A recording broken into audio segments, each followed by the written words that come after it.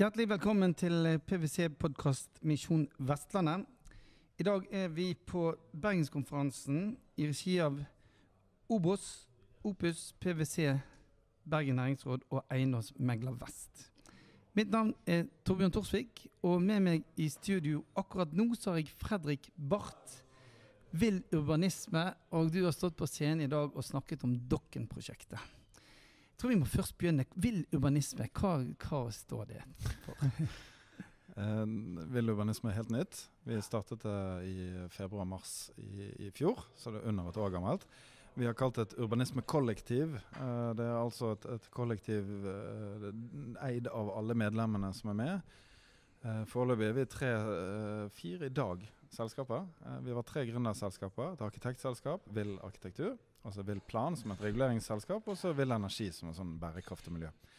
Og I dag så ble vi enda større, og, og, og målet vårt er vel egentlig at, at, at vi skal bli en type plattform for, for, alle de som ønsker å drive med byutvikling, eh, kunst og kultur, og, og de liksom litt oddefagene som forsvant litt fra, fra utviklingsfagene. All, all vill urbanisme, med andre ord. Helt klart. Eh, Fredrik Barth, hvem, hvem, er du, Tor? Hvem er, hvem er Fredrik?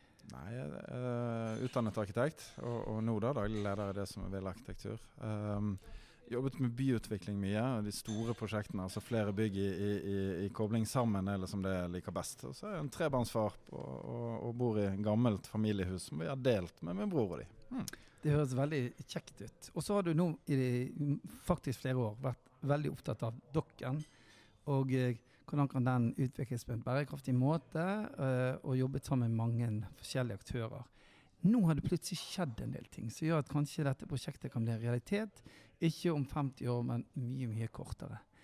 Hvordan angrep dere hele dette Dokken-prosjektet? Ja, desember 2018 var fabelaktig måned. så Da, da datt liksom alle puslespillbitene ned, og så traff de hverandre helt, helt perfekt.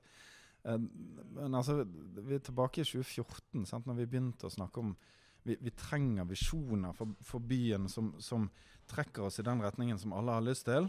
Men, men så var liksom ikke noen av svarene der. Og så, så begynte vi på det som var, var, var Dokken-arbeidet. Vi hadde noen arkitektkonkurranser som vi, vi, vant for Bergen havn og sånn. Og så, og så ballet liksom tingene på seg. Uh, generelt da så var, var folk helt sånn At dere gidder å holde på med det der. Byen har snakket om havnen i 30 år, det er ingen som får til noen ting. Og det, det er faktisk ganske sånn motstand, eller ikke motstand, men mer, mer sånn oppgitthet mm. over hele prosessen. Hvorfor bruker vi tid på noe som ja, er så lenge til? Nettopp, nettopp. Og så, og så i løpet av de, de fire-fem årene nå, så, så, har ordskiftet forandret seg veldig. Og, og, og, i dag så er det liksom på en måte, nå, nå, ser alle de mulighetene. Det er ikke bare vår skyld, men, men på en måte tiden har har plutselig blitt moden for å ta de grepene nå som, uh, som vi vet vi trenger. Ja, for Det jeg har inntrykk av, det er at det har gått fra på en måte vill krangling for et halvt år siden, der vi nesten var litt frustrerte for det krangler vi oss vekk fra dette prosjektet også, til at når beslutningen blir tatt spesielt eh, eh, rundt eh, fiskeriutfordringen, altså i forhold til Forskningsinstituttet og, og, direktoratet, så er alle enige om at nå beliter vi oss, nå må vi jobbe sammen for å få dette opp og gå. Jeg, jeg tror det. Og, og jeg mener jo og, veldig at, at, det er en riktig beslutning som ble tatt. Uh, mest av alt for å kunne løfte hele det som har blitt omtalt som havbyen Bergen. Altså sånn Fornebu begynte å utvikle. Vi skal ha skyskrapere skal drive med havforskning. Og de skal ha nasjonalakvarium. Altså Tromsø og Ålesund. Altså alle disse andre byene drev og, og, og fyrte opp under oss. Og, og, så var det liksom I Bergen så klarte vi å rote det der bort i sånn her eh, vanlig krangling. Men, mens nå så ser det liksom ut for at ok, nå, nå, nå gjør vi dette sammen. Og, og, det betyr at Marineholmen og Laksevåg og Dokken og alt Vi, vi kommer til å løfte liksom alle disse områdene og skape en ny sånn uh, fjordbasert by uh, egentlig rundt hele Puddefjordsområdet. Uh, det kommer til å bli dødskult. Ja, for det, Vi skal komme tilbake til Dokken også, da. Men dette frigjør jo faktisk også muligheter på Nordneshalvøya. Det gjør det. Og Det er jo en spennende diskusjon som på en måte jeg har savnet litt. Altså, selv om det er nå i staten som eier de byggene der ute, så ligger det jo en del muligheter også til å kunne tenke ok, hva skal vi gjøre med Nordneshalvøya? Mest tettbebygde strøket faktisk i, i, i, Bergen, selv om det ikke er sånn ut med alle de lavhusene der ute. Nei, jeg, jeg, jeg tenker at vi også, også, konferansen i dag, så, så, blir det veldig fokus på dokken, som du sier. Og at, at barnefamiliene skal, skal uh, ned i, i, veikryssene der. Og, og det, det, er en del sånne her, og Du skal både ha havn, og du skal ha båter, og du skal ha cruiseskip og du skal ha båt. Altså det er masse sånne mulige konfliktpunkter. Men, men poenget ditt med, med, hva som skjer med Nordnes, det er jo en av de mest boligvennlige deler av byen vi har. Det store parkanlegg, det er rolig og stille, og det er allerede etablerte skoler og barnehager. Så her må vi få det til. Ja, og det gleder vi oss til å se den delen også. Men tilbake til Dokken.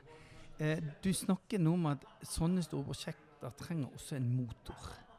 Eh, det hadde dere vært inne på i, i, når dere planlagt. Hva kan motoren være? Kan, eh, er det den beslutningen som ble tatt med Havforskningsinstituttet, og eh, kan det være en del av en sånn motor? Ja, jeg håper det. Eh, det er utfordringer med, med statlige prosjekter også, så, så vi, vi, vi, skal ikke, vi, skal ikke, rosemale det. Men, men en, en, å lage en ny bydel er veldig veldig tungt. Det, det, er noen som skal være de første som flytter inn. Du er alene der nede uh, som første innflytter i bolig. Altså, sånn, det, det, det, er tungt å etablere sånne type nabolag som vi vet vi trenger. Og da er uh, en, en, sånn type arbeidsplasslokasjon med 1000 ansatte, og du kommer til å få en kafé, og du kommer til å få en kantine, og du kommer til å få alle de tingene som vi vet vi trenger som beboere også, da, da er det enklere å legge inntil uh, gode bomiljø. Så lettere med en etappevis utbygging hvis du klarer den miksen. Da er det det du sier? Ja, definitivt. Og, og, så er det jo ikke minst den økonomiske styrken i å ha staten med. For det, det er dyrt å stikke hull på et område som Dokken. Det er noe grunnforurensning, det er infrastruktur og sånt nå. Og, og, de første boligprosjektene hadde aldri klart å gjøre det alene. Men nå får vi den drahjelpen, og vi får det via statlige midler. Så det, det er en kjempefordel, selvfølgelig. Eh, når vi hadde våre to si, eh, hovedkandidater nå som diskuterer hvem skal bli vår neste byrådsleder på scenen i dag eh, Harald Viktor vet vi blir det, og så er det kamp om hvem skal bli Arbeiderpartiet sin. Eh, men eh, de snakket bl.a. om burde vi hatt et eh, hva skal vi si, et utviklingsselskap som skal ivareta dokken. Hva tenker du om det? Jeg, jeg tror, tror, det er lurt. og, og Eh,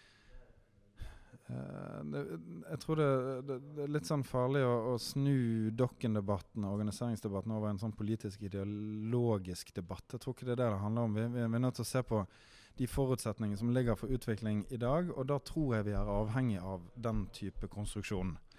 Uh, og det er erfaringene både for Oslo, fra, fra Kristiansand og for de andre havneutviklingsprosjektene i Norge, at du, du trenger den aktøren som, både, som evner å koble offentlige og private interesser og midler sammen og kan drive en utvikling. Så jeg tror vi er helt avhengig av det. Så nå kan vi håpe på at det blir en tverrfaglig enighet om i hvert fall det.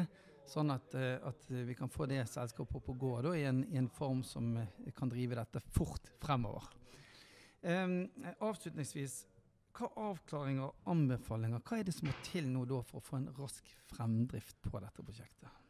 Nei, Der også har det vært uh, til dels litt sånn forvirringer og usannheter. og Det er sagt at vi må ha på plass Sotrabroa, vi må ha på plass en del sånne ting. Og det, det trenger man nok ikke nødvendigvis. Uh, men, men, det er klart at vi må jo ha en plass å lokalisere Havforskningsinstituttet. og det, det, kan være på den Bring-tomten som er omtalt, der Posten skal flytte ut innen et, et par-tre år. Men det kan også være at store havneaktører nå begynner å flytte før de må fordi at havnelokasjonen på Ågotnes er klart. Så det, det, kan oppstå nye muligheter. Men, men, det vi trenger, som både Harald Viktor Hove og, og Roger Valhamma uh, setter fokus på, det er en type kommunal styringsverktøy av en eller annen sort. Og så diskusjonen om det skal være en, en områdeplan eller en mer sånn type visjonsdokument eller en disposisjonsplan, eller sånn, den, den, er jo ikke ferdig. Men, men, jeg tror, og helt enig med det, at vi trenger den kommunale liksom, Sånn skal det være. Sånn har vi lyst at dokken skal være. Og så, og så må vi på en måte gå etter det. Um, så tror jo jeg at de aller fleste er enige om at jo, vi trenger en Sotrabo, men vi trenger ikke den pga. dette prosjektet. Den, den, trenger vi fordi vi alltid har trengt den ganske lenge. Um, vi gleder oss i hvert fall til dette prosjektet og andre prosjekter kommer godt i gang. Det var spennende å høre på deg i, i dag. Og uh, Fredrik Barth, tusen takk for at du kom i studio. Tusen takk for meg.